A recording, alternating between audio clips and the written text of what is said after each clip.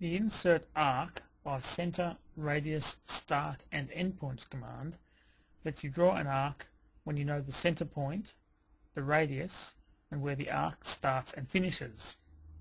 Select the command and the dialog box lets you type in the radius.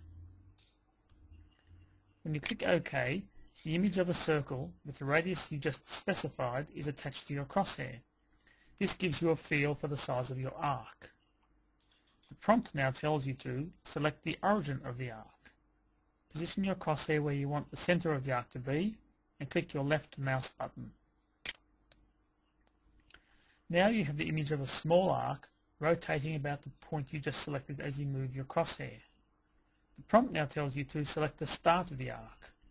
Click where you want the arc to start. The prompt now tells you to select the end of the arc.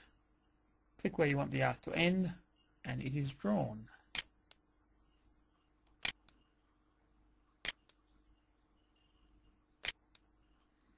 Notice the arcs were drawn in an anti-clockwise direction from the start point.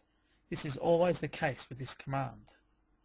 These arcs were drawn in free space, but they can also be drawn by snapping to existing points with the snapping square like this.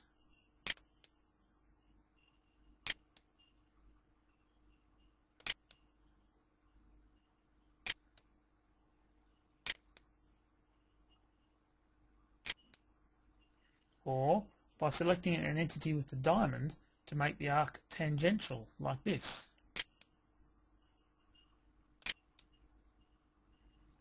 Notice the different prompt this time.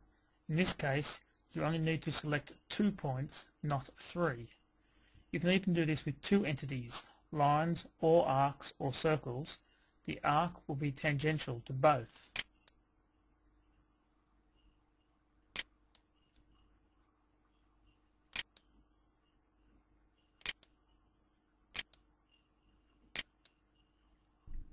Right-click to finish drawing the arcs. This command asks for the radius of the arc, but if you don't know the, the radius, you only know the diameter, you can let RealCAD work it out for you.